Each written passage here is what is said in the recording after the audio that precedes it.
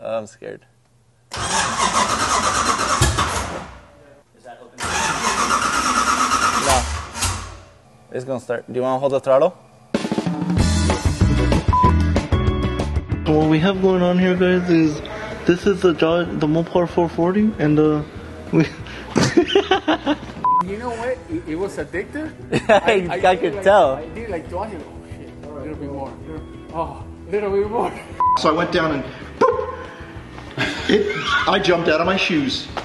Freaking baby. How many times have you not have you been burned anyway? Oh, it's just another one. Okay, ready? It's gonna be loud. Plug your ears.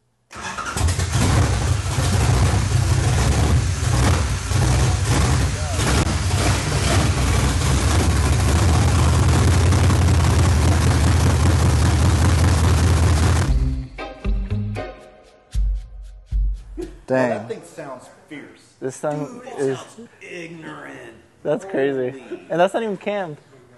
That sounds fierce. No, you know why? Because it's. It's searching for yeah, yeah. sounds- Sounds nasty. With the timing. Dude, That's insane. that was pretty sick. Did you see the whole car? Yeah. the whole car does that, right? That's insane. Well, it's got that tired soft suspension, but still, it doesn't looks matter. cool, The suspension's like, oh, Yeah. Oh. Hold on. Dude, that was sick.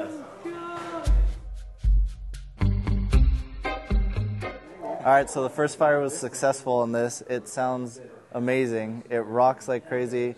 Just sounded like a NASCAR motor back in the 60s. The induction noise was insane, and the problem is that the throttle body mouth is so big. We didn't have anything to like try to cap it like a filter because the clutch fan is still fairly close, so you don't have a lot of room. And again, the throttle body is huge. You get all the induction noise, which is crazy. It was just lopey, but no leaks, no real issues. So now we just have to button everything up, get the intake on there, and send it over to the exhaust shop and do a full H pipe and get it going. Yeah. It's pretty I mean, aggressive. If he no trouble with the posit, he might break them. Well, we're doing short gears too. Maybe maybe we need to put solid mounts. Take the motor out again. No, just lift the motor. say- Can you change it with the headers in? Mm. Yes. Yeah. Okay. It's freaking headers. It sounds so good, Well, I was surprised. dude. It was like drag sound. It is. Immediately, I was like, "Wow, that's badass." And you know what? It, it was addictive. I, I, did could like, tell. I did like twice. and, Oh shit! A little bit more. Little, oh, a little bit more. Yeah, but you can't do that when he fi- first fires a JDM motor. He's like, "No, no, no, no, no." This is not a. This is not a brand new motor. I know. So I gotta drive the thing home tonight. You don't get me, dude. I do get you. No, you don't. I do. Einstein. This motor never lost the. Calm that know, hair down. The, pre- the pressure, the, the oil gallery. I know, I know. I know. I'm just kidding. The Edelbrock system does come with its own tablet from Amazon. It's just paired to the ECU with the app. It's good to go. We're just going to input some numbers. So let's see how this goes. It's all good. cut. I'm gonna put that pipe back on, and then. I mean, now at least it's kind of idling. Right, but you can't adjust the throttle plate if you put the pipe on.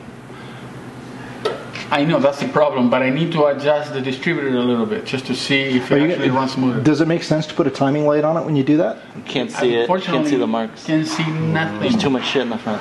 Oh, because of the. The pulley system, pulley the, system, fan. yeah. Oh, this doesn't. Proud. You have to set it to zero and then adjust on there. Is that how you do it? You have to set it to base. Well, I set it when I timed the motor. I set the distributor to less kind of like 10, Mm-hmm. yesterday. but by hand. You see what I'm saying? Mm-hmm. I can't see that. I no, can't put a timing can't light. see anything. So I don't. That's what I'm saying. Now that it's idling, I'm gonna move the distributor to see where it runs better, and kind of leave it Old there. school. Yeah, I Is mean, there? Where's the timing mark? Is it? There is no timing mark. it is, but Where would it be? On what? What pulley is it on? It's under all this crap there. The crank. So the crank. But you just can't see it with the Can't pulley see it. system in place. can't put a little camera down there or something. Oh, that's an idea. Like maybe put a GoPro on there. Hold on, Just a hold little camera or The light have to hit that spot. You what? The light has to. hit Timing it. light have to hit that spot. Well, use mirrors. Okay, well let's uh, let's Well, yeah. develop that. Next Okay. year we'll do timing on it. Perfect. All right, guys. So what we have here is the Mopar 440 tablet, and uh, we're gonna look at this one and see what it does. Let's go. when it shocks you, it's like It's a big shock. 2,000 I'll never forget the day I was pushing a push edger, um, lawnmower edger, and the little cap thing was coming off. And I'm a so dumb little kid, and, and I'm like, oh, the little spark Oh. cap is coming off. So I went down and boop. It, I jumped out of my shoes, and then the edger took off because the shoes are burning. Like, Oh my god! I went. That's how he lost his hair. Yeah, yeah. All my hair fell out. That's that's me. That might be true. Vicious. Just That might have been the start of it. Yeah, maybe. I mean, what's gonna get out. If you just put a glove on for crying. No, I know, but those gloves are. Well, get put a non-wet glove on. Maybe just jump up in the air as you twist it. So you're That's a good idea. just do this so you're off the ground. Uh, it should be okay, but I'm just, I just don't like to be shocked, to be honest. Okay. Well, no one likes go. to be shocked. Go. I'm just gonna see if if it shocks me. I'm not gonna go.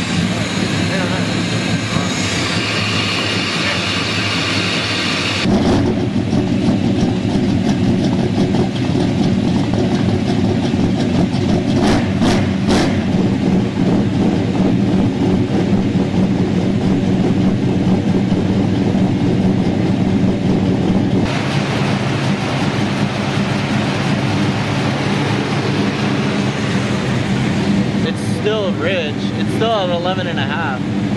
It needs to be like 12 and a half, 13. For what? Idle. That's why it's so rich. So can you turn the idle up? No, I don't want the idle up. You want it I want less fuel. Um, So how do you make that?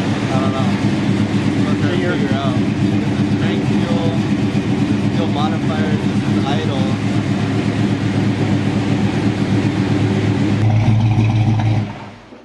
Yeah, I forgot. I, I wanted Way better now I'm at 12 to 1. Where's the alternator? Oh, it's just not working.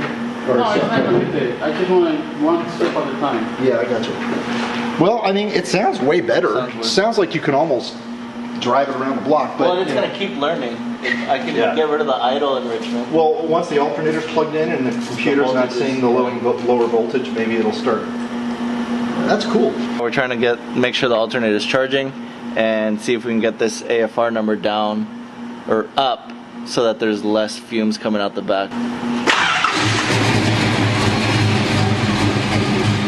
Now it's charging. Yeah. But now the AFR is worse. Now the AFR is worse.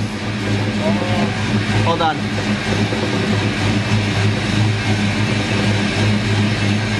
So I dropped the fuel trim another 5% at idle, and now our air fuel ratio is 12 and a half. Okay, 12 and a half. Yeah, I dropped another 5% at idle. Okay, so hold it at 2,000 RPM see what it, what it goes.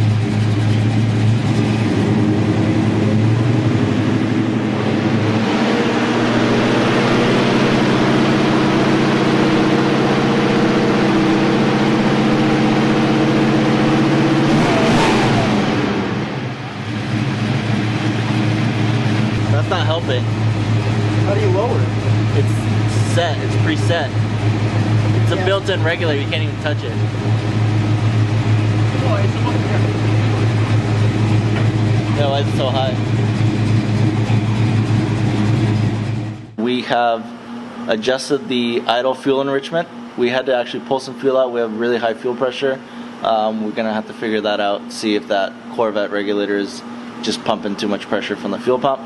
And we also adjusted the acceleration enrichment so that way we can get the air fuel ratio to not be spitting so much We got the alternator plugged in, so that's charging. We're in closed loop. We're in O2 sensor self-learn setup, so the car is adjusting as it's going, and we're just gonna make sure it's got brakes and everything, so we can go ahead and take it out for its first test drive with the manual, this EFI system, and all the new goodies that are on this car. Hmm.